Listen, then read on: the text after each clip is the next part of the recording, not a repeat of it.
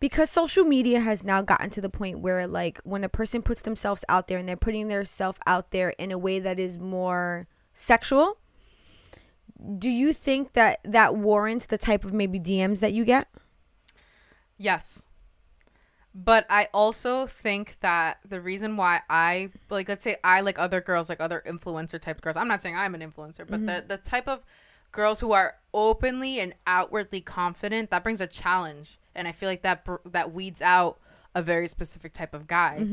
Um for me, I think the type of guy that will see that type of persona I put on Instagram and they'll be like, hey, I'd really like to take you out on a date. Let's go to the museum. Let's go do this. Let's do that. I'm like, that is so sexy to me. I'm like, that is like the best way to to get my attention versus like there are guys that are like, you post all these pictures. I'm like, I wonder how many guys are in your DMs. Like, shut up. Like, shut up. Like, no, I am outwardly confident and I would like someone who is not intimidated by that mm-hmm. and would maybe in the future like if if I would to get serious with them mm-hmm. I'm not saying that I would keep up the same content I wouldn't I don't know but mm-hmm. I would not want that to be like a deal breaker for them. Mm-hmm. Like they would just see past it because they're at the end of the day they know who they're coming home to. They know who they're going to get at the end of the day.